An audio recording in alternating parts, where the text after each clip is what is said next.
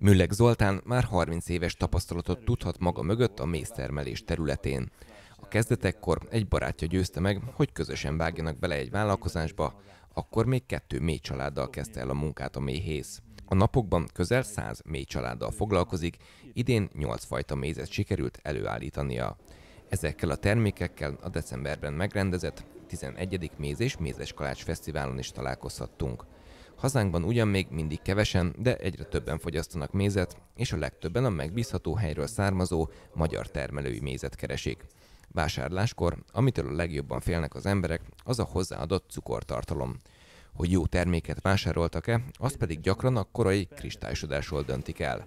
Műleg Zoltán elmondta, hogy ez egy tévhit, a cukrozott méz pontosan ellenkezőleg viselkedik. A tévhit az, hogy ha kristályosodik a méz, akkor ugye sok... Nem, nem. Pont az, hogy, hogy ha ez az etetett cukros méz, ez, ez pont, hogy később kristályosodik, és nem olyan állagú egyébként, mint ugye, a természetes kristályos méz. December közepén Műleg Zoltánnál a méhek ebben a garázsban telelnek.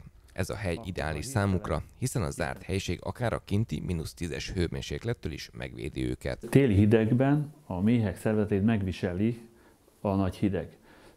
Nekik a belső hőmérsékletet izomunkával kell föntartani. Tehát a, a mézkészletük egy részének az elégetése árán fűtik a kaptárt, illetve egymást. És, és minél hidegebb van kint, nekik annál nagyobb ö, energia befektetéssel jár, illetve megviseli a, a szervezetüket, a, a hosszú, főleg a hosszú hideg, mert rövid ideig tartó hideget könnyen átvészelik, mert a bolyon, tehát a,